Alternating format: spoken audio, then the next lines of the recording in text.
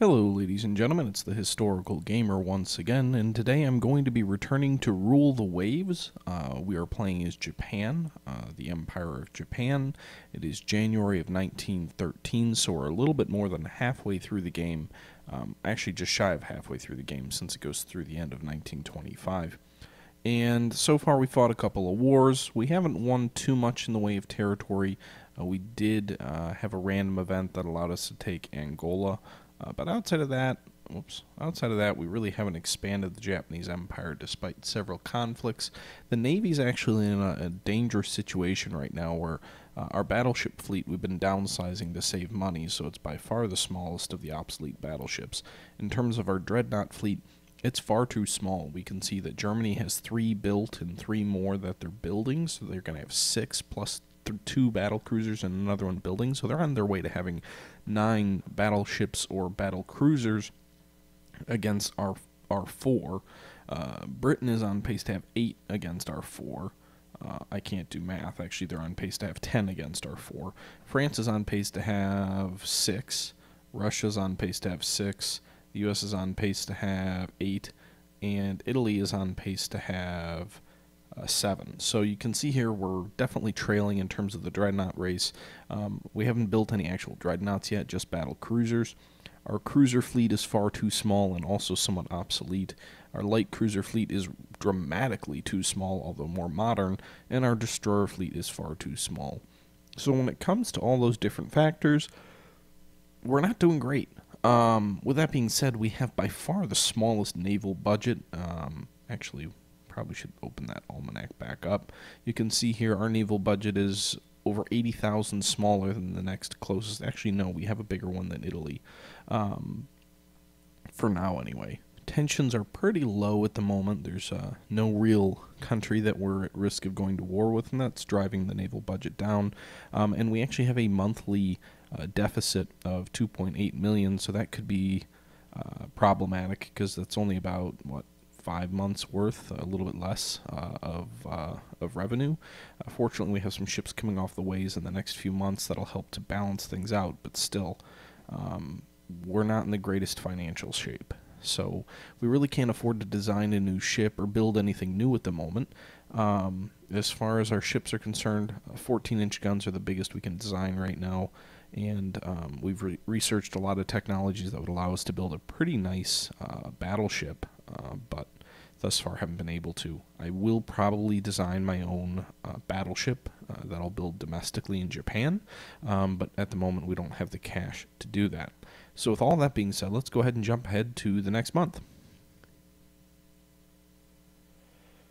Okay, so we can add one month of uh, construction to the battlecruiser Ibuki if we add a new fire control, which we just researched. So basically, it'll lengthen the design time, but it'll make sure that the ship has the most modern equipment, which we went ahead and did. Uh, German government's offering to si- sell us a Q ship, which is basically a merchant ship that kind of is hidden and disguised as a merchant, uh, that then is able to kind of drop its shields and have guns. It's useful for fighting against submarines uh, or merchant raiders as well. Uh, but we just don't have the additional cash right now to, to buy. So again, situation didn't really change here at all. Uh, we did have our monthly balance uh, improve slightly uh, after that last month. It looks like our budget went up just a little bit, uh, but again, uh, don't have any spare cash. We need to keep this money here until some of those under construction ships are finished. The German government is interested in buying the rights to increased oblique penetration ability for 4.3 million. Um, I don't know if we want to sell this to a potential enemy. We have fought the Germans in a war recently, uh, but at the same time, that would be really useful money. We could even use it to design a new ship. Hmm. No, we're gonna. I don't want to. Not. Let's see. What are our tensions? German tensions are pretty good, so I guess we could do that. So you can see there it boosted our, our revenue. Now we're not going to build anything quite yet. I'd like for some of those other ships to be completed. So there you can see uh, destroyers commissioned into the Navy. And our budget improves slightly. We'll go ahead and jump one more turn. We got another destroyer, another destroyer, another destroyer. So several destroyers all just uh, increased, uh, all completed. Prime Minister wants to reduce finance for the Navy to build a new palace and a luxurious yacht for the head of state. What do you do? Uh, protest energetically, enlist the help of the Navy League to delay the plans for a palace, or of course the Navy will be happy. We're not going to. That prestige. Prestige is basically the goal of, of the game is to gain as much prestige as possible, but we really don't want to lose out on our naval budget. So I'm thinking we'll enlist the Navy League, and that'll increase tensions, but I'm okay with that. You know, tensions are low as they are. There we go. Secondary turrets on BBs. Secondary gun turrets. Nice. Okay, so you can see the budget is improving pretty substantially now. Um, only 1.3 million in the red, and as you can see, we've got several more ships completing in the next month or two. So we'll go ahead and we'll let those finish. I'd like to try and break even before we throw another ship under construction. Stereoscopic rangefinder. That seems to be a reasonable price.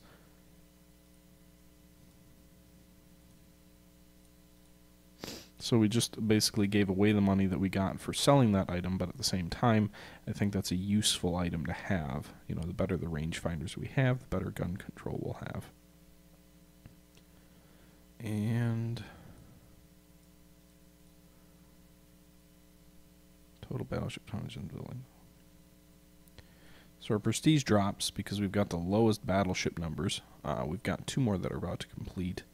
You can see here we've got we're going to have four. Looks like the rest of the nation's uh, construction remains pretty consistent, but basically political pressure is going to force us into designing a battleship here before too long. You can see our monthly balance is now in the positives, so we could go ahead and order some new ships. Um, the Izumi class, when was that designed?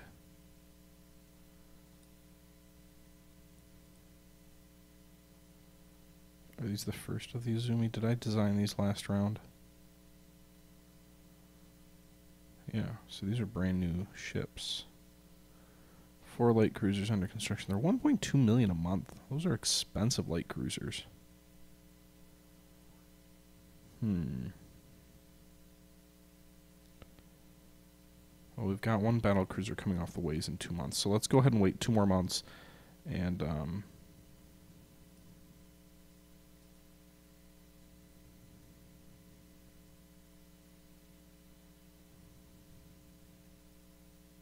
Hmm. The Italian government's willing to sell us some pretty high quality three inch guns, but we don't. I'm not really too worried about small guns like a three inch gun. And this. So a scandal with Russia. Let's embarrass Russia because that's always fun to do. Okay, so with the completion or the commissioning of that last battle cruiser, we've still got one more under construction for another 14 months. Our slipways are almost all empty. Unrest level is 1. I believe that's because we haven't been building enough battleships, but now we've got a healthy monthly balance here at this point to go ahead and design a new warship. So at this point, based on the fact that we're losing a lot of prestige uh, for not having enough battleships, I think what we're going to go ahead and do is we're going to go ahead and design a new battleship. I was looking at doing some cruiser work, but frankly, uh, we just need a new battleship at this point. We're losing too much prestige. So we're going to go on, we're going to design, design a ship, design a new battleship. It'll be a dreadnought, and we'll want to build it in a local yard. We now have the ability to build a ship up to 30,000 tons, so that gives us a lot more uh, flexibility uh, in terms of building domestically. We also have the ability to build triple turreted main guns on our battleship. Um, so again, uh, we have a lot more um, capability in terms of building domestically now that we have those 30,000 ton shipways that we can build ships of 30,000 tons and again the triple turrets means we can have a conventional sort of a Iowa class or North Carolina class design where you've got triple turrets but actually even more guns we could have 12 uh, main guns of uh, 13 or 14 inches actually, um, depending on what we want to do. 14 inches, or we'll see. Well, we'd have to increase the size, but I, I wouldn't really care if we increased it to the max, 30,000 tons. Real quick here, let's take a look at the guns and see what uh, the better gun is. Now, the one negative thing is these 13 and 14 inch guns have a negative 1 quality, so they're not great in terms of 13 or 14 inch guns. But if we look at the penetration values here, max range of 18,600 for the 14 inch gun, 13 inch gun is 17,800. The higher quality 12 inch gun has 18,000. So it, actually, the 12 inch gun outranges both of these in terms of max range uh, because of the quality. When it comes to the max range of 15,000, well, not max, but the max penetration value I have is 15,000 yards for the 14 inch gun comes with side penetration of almost 12 inches and uh, deck penetration of 2.2. We compare that to the 12 inch gun, far superior penetration characteristics than, than the 12 or the 13 inch gun at max range. If we look at kind of sliding the scale down uh, to 12,000, still superior, 8, 5, and actually superior in every regards to uh, the 12 inch gun. Despite the 12 inch gun having a better quality gun, the additional size of the 14 incher gives it substantial advantages, and it's better than the uh, similar quality 13 inch gun as well. So, with all that being said, uh, let's go ahead and design a battleship. Um, it's going to have 12 guns. I don't see why we wouldn't make them 14 inch caliber. Um, 14 inch caliber, let's auto design ship. So, why aren't these triple turrets? Huh. Ship is slow. Is it too much weight? Well, if we have a medium range, well, we're going to go ahead and we're going to up the uh, size of the ship to 30,000. So it's going to be exactly at our maximum, 30,000 tons. We'll have medium range. I'd like to make it a little bit faster. I'd like 22, 22 knots would be nice. Um, although, to be fair, the battleships of this era, like the World War II U.S. battleships that were hit at Pearl Harbor, which were really designed in World War One, I, I think they had like a 20 knot or a 19 knot uh, speed. They were they were fairly slow. You didn't really see the fast battleships in the U.S. start coming online um, I don't think it was till the North Carolina class. Those were the first like 30 knotters. The Japanese had fast battleships with the Kongo class, but that was really more of a battle cruiser. Um, I think the Naga was fast as well, which was kind of an interwar class with 16 inch guns. Um, we could sacrifice on protection, or we could go with slower speed. Hmm. I'd also like to have these be triple turrets if we can. So we've got an aft and we've got a forward. We'll have aft superimposed, triple, and forward superimposed, triple. So there we go. It's not big enough to house this, and basically no secondary guns either. Huh. I suppose we could go with double turrets. A double turret would be kind of more in line with like the Queen Elizabeth class, or most most battleships of this era didn't have triple turrets. They had double turrets. Even in the U.S., they didn't have them really common with triple turrets until uh, the Colorado class, I believe it was, which was kind of a I think that was interwar or late World War One design. Um, forward superimposed, add superimposed. So if we go that route, we still have quite a bit of uh, weight left over. We could use it to make the ship a little bit faster. Better belt armor too. So really strong turret armor and conning tower armor. We're going to leave that all pretty much in place. Then we go ahead and we buff up the belt armor to 12 inches and the deck armor to 3. 3 inch deck armor is pretty heavy as you can see from our uh, deck penetration at long range. Uh, a big gun won't do that unless they've got a really high quality gun that maybe we don't have any intel on. I see no reason to waste weight on torpedo tube mounts with battleships, so we're not going to do that. We've got 20 uh, secondary 4 inch guns in casemates. I almost would rather go with like 16 in single turrets, but I don't know what that what the weight implications. Costs us a little bit of weight, but I'm okay with that.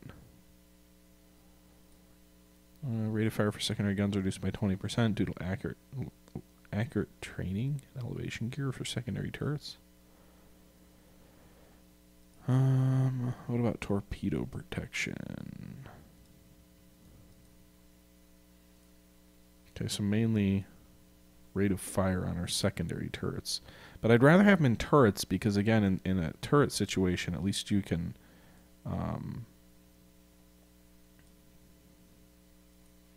protect against, you know, bad sea. If you have them in casemates and you've got bad seas, then you could end up um, not being able to use those guns, and torpedo, you know, craft could close in on you. Um, still have 400 tons. What if we change that to a triple? Nope. Lose a lot of weight there. I suppose we could go with triple turrets if they were 13 inch guns, but I'd rather have 14. Um, okay, so we've got eight 14 inch guns on this battleship. This is a very traditional battleship design. Very heavy armor, decent speed at 21 knots. We could bump it to 22. This would almost be like a battle cruiser. Um,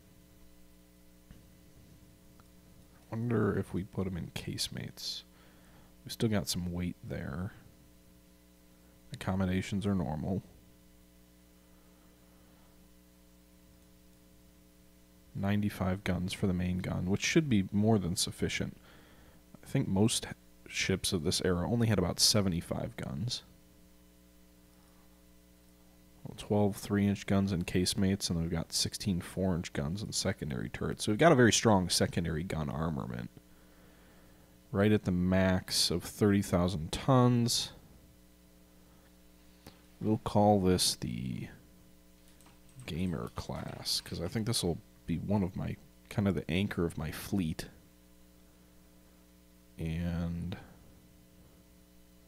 also, I think the three inch guns, the 12 three inch guns and casemates help to offset the fire rate penalty that we have in our double four inch turrets. kind of envisioning something like the five inch turrets that the U.S. World War II battleships had. Um,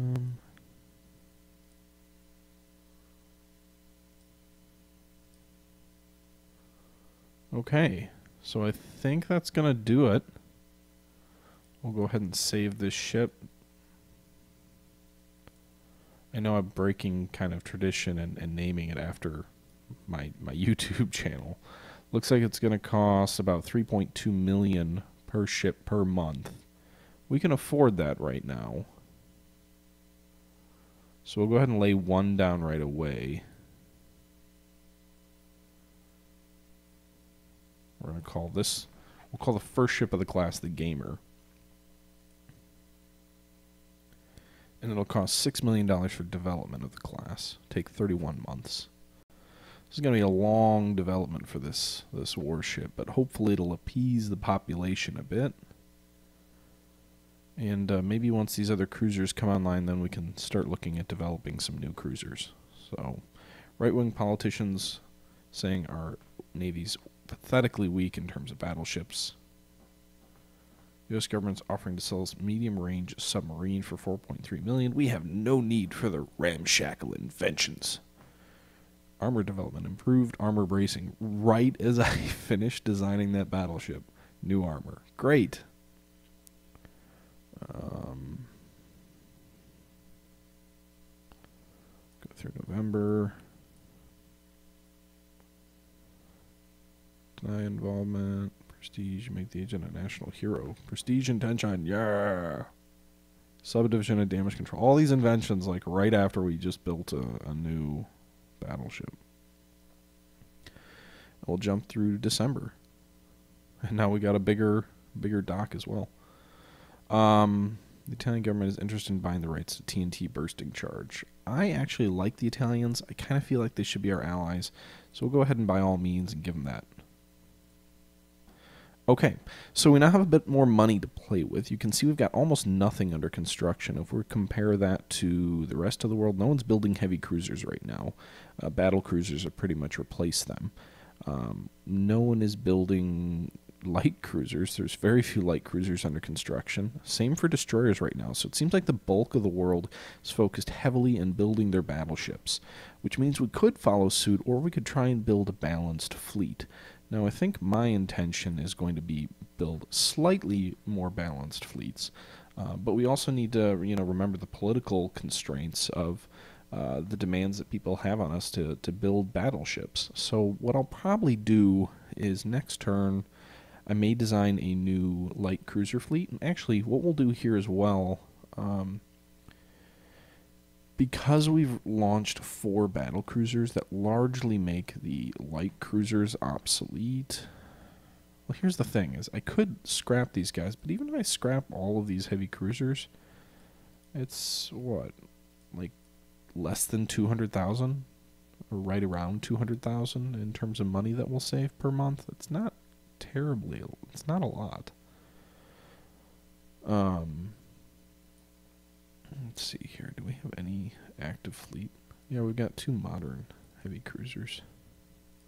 I still think they could serve a use as like coastal defense ships. Er, I'm not sure. These were rebuilt in about 10 years ago. I don't know. I'll have to think about that. We've got three battle cruisers in service now that actually ties us with the most of everybody else. The only problem is everybody else has, well, not everybody else, but several other nations have three battleships in service as well, and we just laid our first down. Um, I think it'll make more sense to start scrapping some of the battleships soon as well.